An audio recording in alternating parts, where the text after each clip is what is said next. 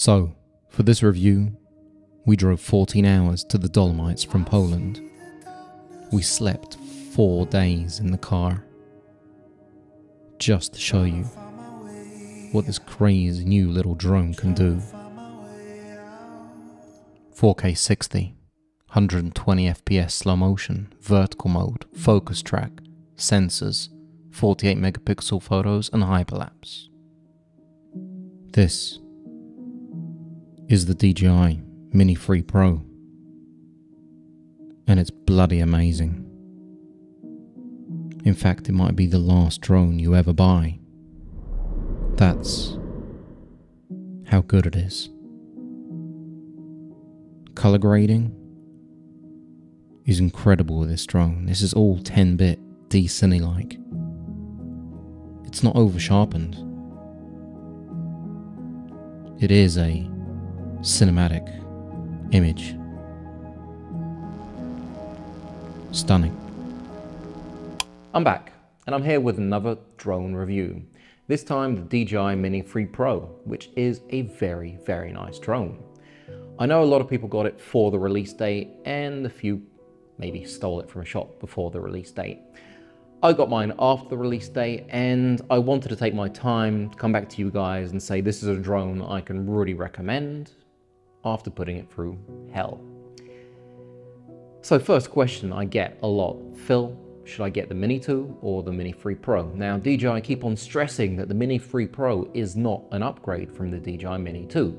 I've flown the DJI Mini 2 a lot and it is a fantastic drone, but if I gotta be honest, I don't use it anymore because I have the 3 Pro, which really makes my life a lot easier. It has obstacle avoidance, down, forward and back.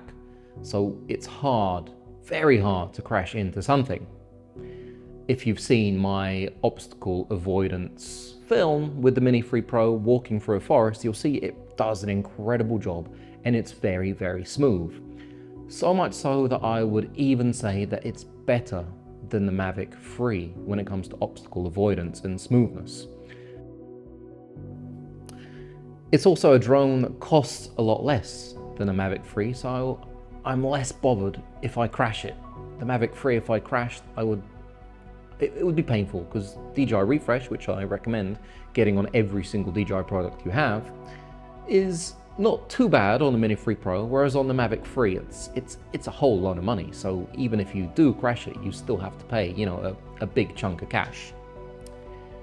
Is it good as a beginner drone? Is it good as your first drone? Yes, it's absolutely fantastic. Because it has avoidance sensors, you don't have to worry too much about crashing into a tree or a building you can't see. I would always be wary. And it has a fantastically beautiful big sensor compared to the Mini 2, which really does make a difference and you can see that in the shots. The fact that you can also turn the camera vertically is really 2022. It's, it was on the Mavic, the original one, but it's come back to this.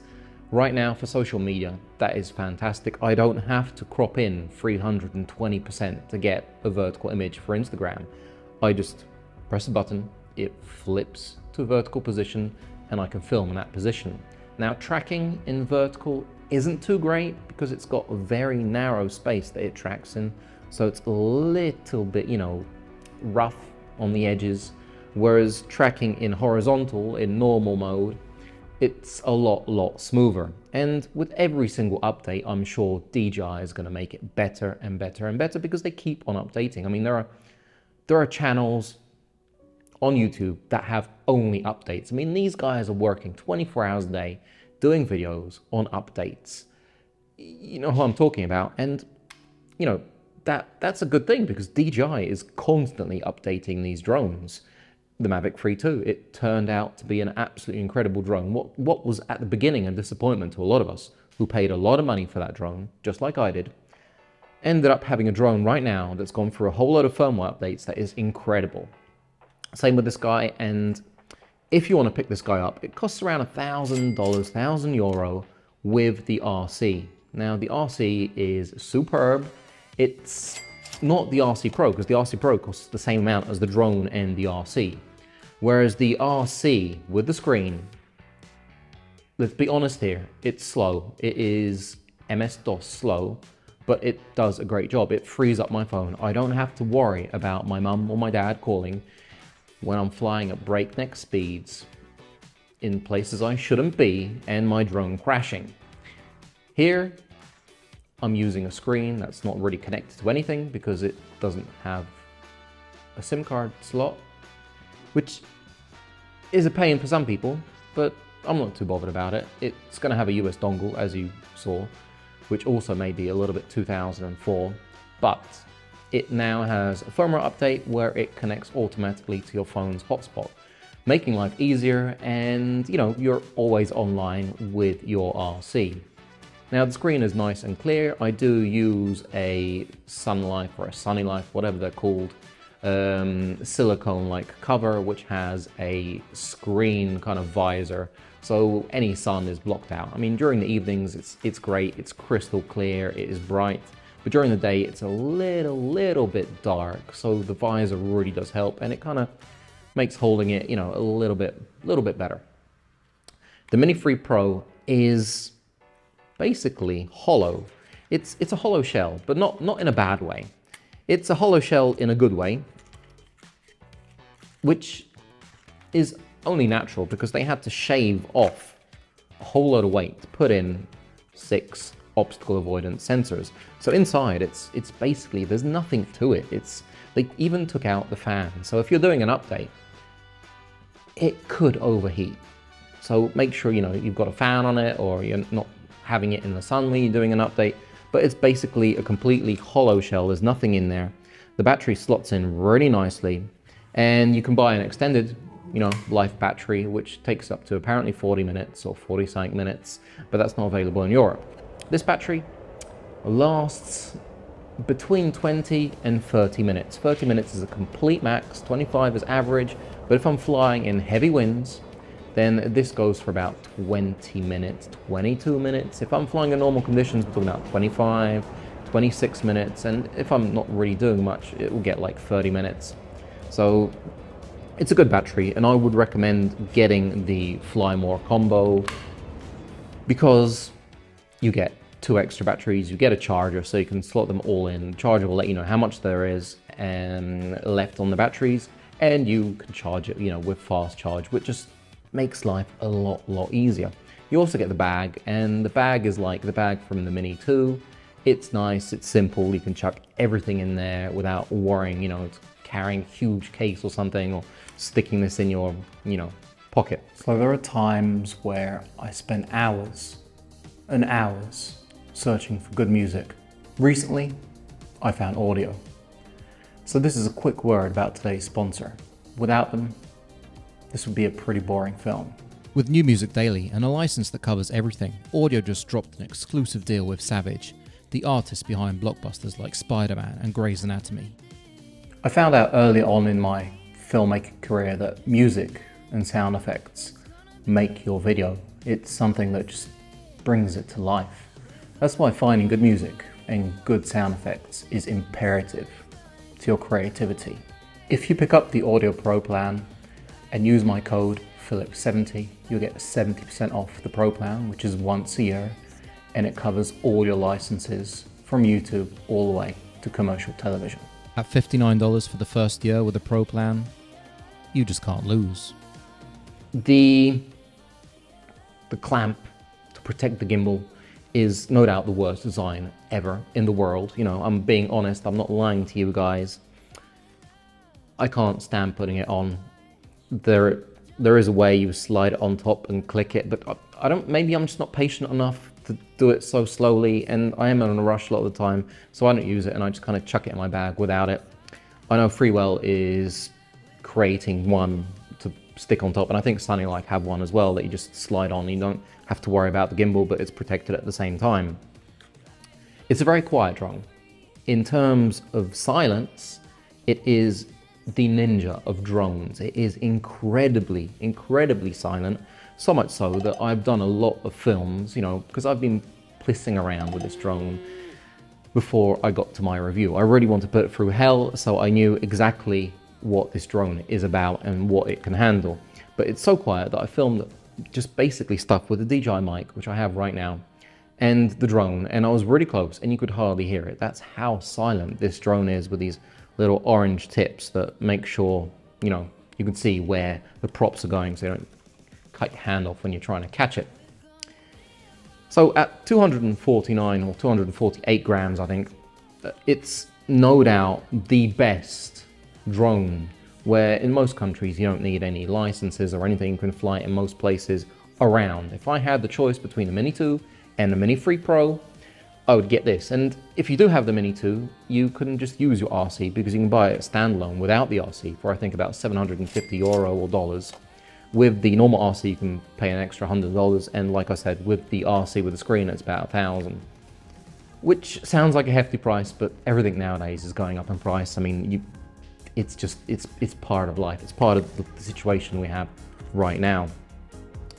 The gimbal, incredibly smooth. It doesn't matter what kind of weather I've had this in. I've had this in very high mountains, maxed out right up the mountain edge. We're literally just in the middle of nowhere. And it's been in winds that were so ferocious, I wasn't sure I'd get it back. I was pretty confident, but I wasn't sure. And it, it, it handled it like, like a pro, DJI Mini 3 Pro. It really handled it fantastically. And when it comes to color grading, it's got 10-bit D-Cine-like, which is incredible. It means the image won't fall apart. Even if you use my LUTs, you can find my LUTs down in the description and they will just make your life a lot easier. I've got plug and play, which you stick on and the image looks fantastic. And I also have like some cinematic LUTs. So the D-Cine-like 10-bit does an incredible job. It won't fall apart when grading. And the image isn't over sharpened like the Mini 1 or the Mini 2. It's, it's pretty sharp. It's a nice image, but this is, feels a little bit softer due to the larger sensor. They didn't have to, you know, crank up the sharpness that much. And another thing are filters. I do not take a drone out, or a camera for that matter, without filters. I'm always using ND filters. Freewell have come out with a, whole load of filters, as has Polar Pro. Mind you, the Polar Pro finish at ND32, so I'm waiting for them to make a pack that's like ND64, ND128, ND256, just so we can use them with the f1.7 lens, which is fantastic and you can use in manual focus like I've done in a few films where it's basically like, you know, half a meter away from you with really nice out of background focus. So because it's so light, it feels like a toy, but it flies like a pro. Feels like a toy, but it flies like a pro. And it's true, it's made out of really, really light plastic, which is a good and bad thing. It's a bad thing because you feel like you're holding a toy, but it's a good thing because if you crash it, you don't have to worry too much because it's very flexible. In fact, when we're in the Dolomites, Luke, first shot we were taking crashed straight into the side of a pine tree up a mountain, and he spent about three hours looking for it. He found it in the end, and the thing basically crashed into a tree, fell all the way down, and was fine. So he kept on flying for the next couple of days with absolutely no problems at all. So the actual drone, like I said, feels like a toy, but it really is a pro drone that can handle a lot and it's flexible. If the Mavic 3 did that, I'm guessing everything would be broken because it's it's it's a much bigger, more fragile drone. The gimbal is huge, it weighs a ton, you know, it's it's a completely different type of monster, the Mini 3 Pro. All the features are pretty amazing in this drone. I mean, you've got hyperlapse with waypoints, which is just incredible. You've got slow motion, which also looks great. And you have, you know, photos. So you've got 48 megapixel photos in this guy. And the photos coming out of it are breathtaking. They're really sharp, not over sharp, but they're really sharp. They're raw, so you can play around with them. You can print them out and they're gonna look fantastic.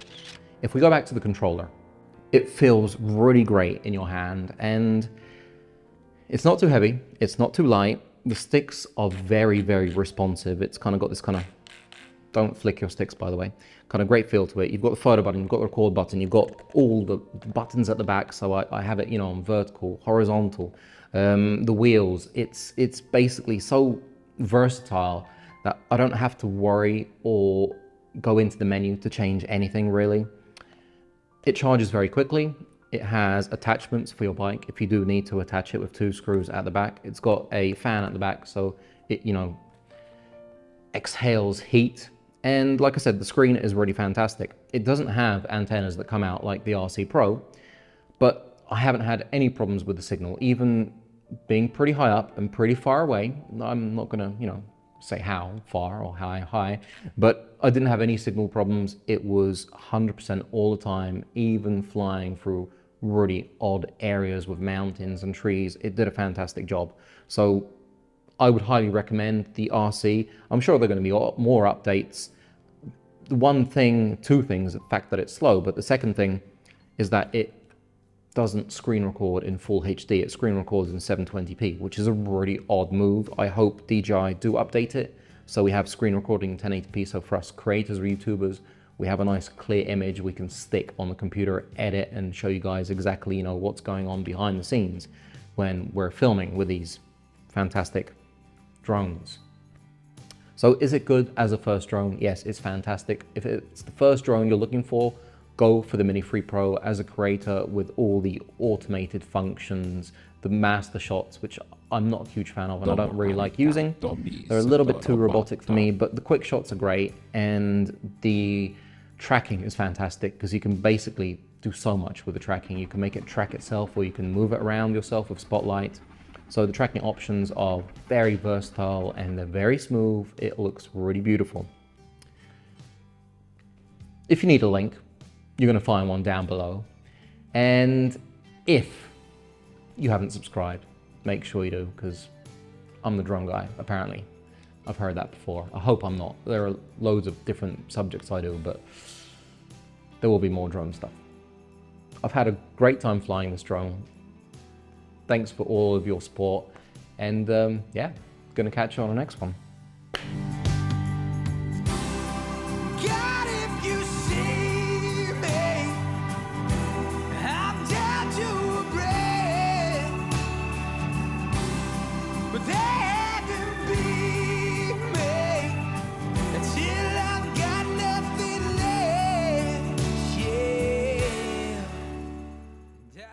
I don't know if it's just the Bon Jovi music talking, but it's the Bon Jovi. I haven't been honest with you guys.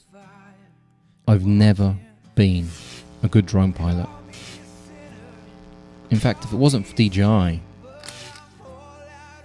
probably wouldn't fly drones at all.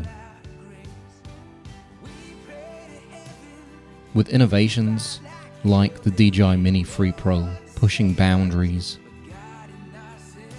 it helps me push my boundaries. This is an amazing drone. I absolutely love it to bits.